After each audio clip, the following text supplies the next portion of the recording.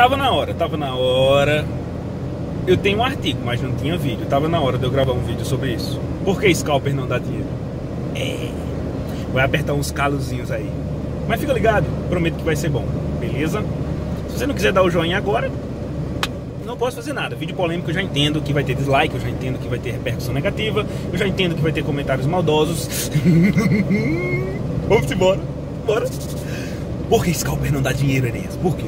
Primeiro, vamos definir o que é um scalper, né? Sabe aqueles índios nativos americanos? Quando eles pegavam os cowboys, o que eles faziam?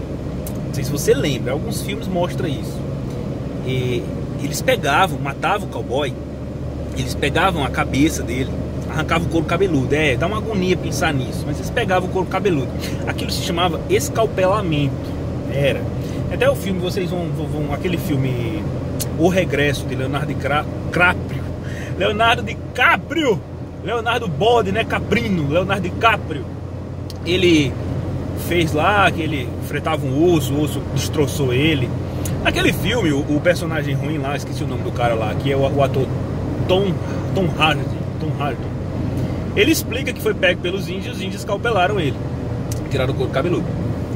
Então por que que se chama uma técnica com um nome tão feio, né? Scalper, scalping?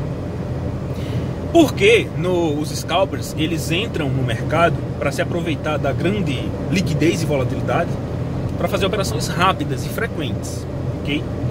Eu não estou falando de day traders. Tá certo que scalpers são day traders porque estão abrem e fecham a operação no mesmo dia.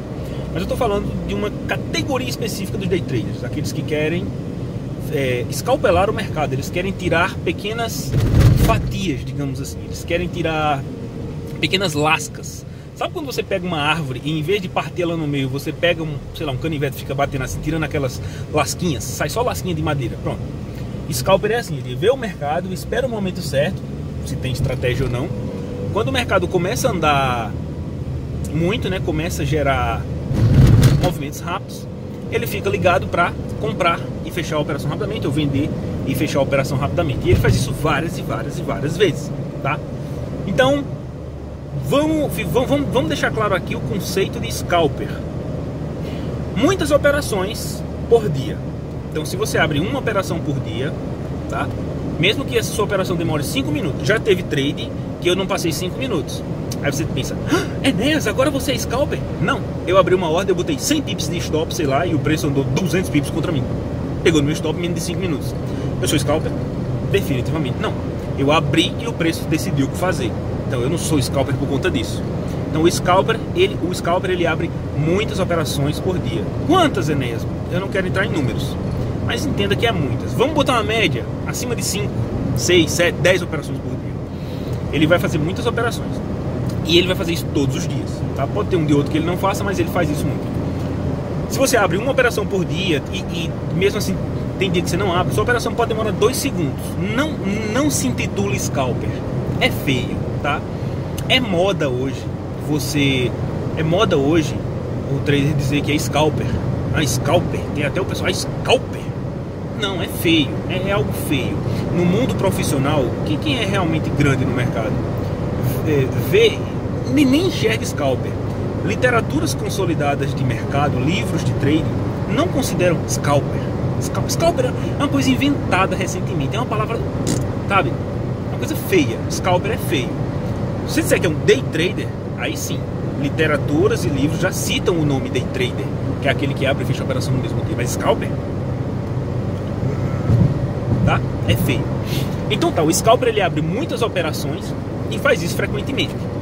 Outra característica do scalper é o pobre ou quase nenhum ou nenhum gerenciamento de risco. O scalper ele acredita que tem um gerenciamento de risco, mas ele não tem.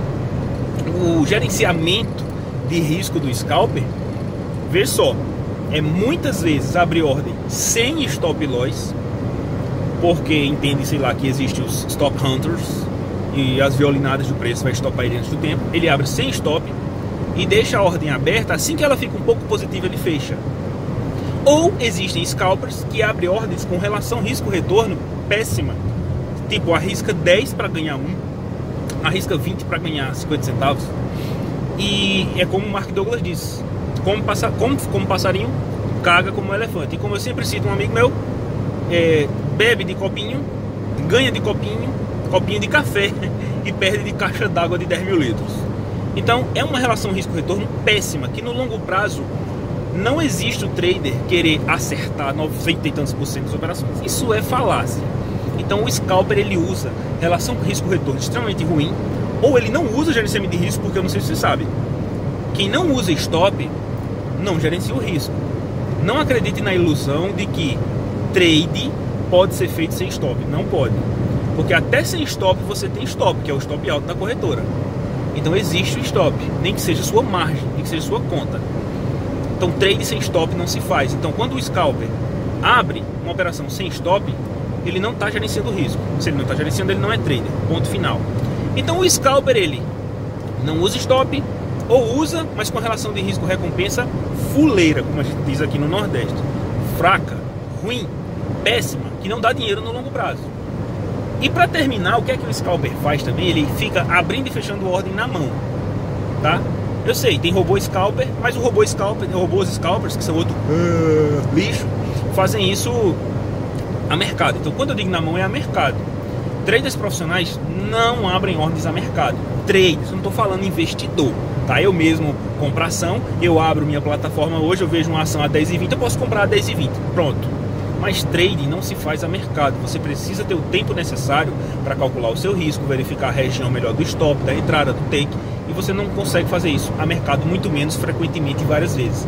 Porque o psicológico de um trader não de nenhum humano, tá? A não ser um humano super humano que um alienígena. Mas não tem cérebro no mundo que aguente um psicológico com várias ordens em sequência e muito rápidas. Não existe. Daniel Kahneman, no livro Rápido e Devagar, falou que operar muitas vezes é, não dava dinheiro, não dava sucesso. E aqueles que operavam menos e menos frequentemente se expunham ao mercado ganhavam dinheiro de verdade.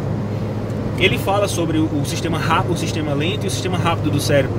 E quando a gente sobrecarrega o sistema da parte lógica, ele não vai funcionar corretamente. Ele é lento, ele é preguiçoso, ele é objetivo, mas ele é lento e preguiçoso.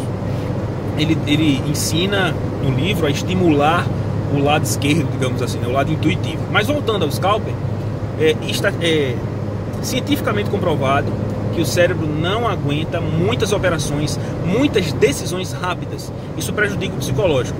Não sei se você sabe, mas o psicológico é importante para o trader de sucesso, para o trading de sucesso.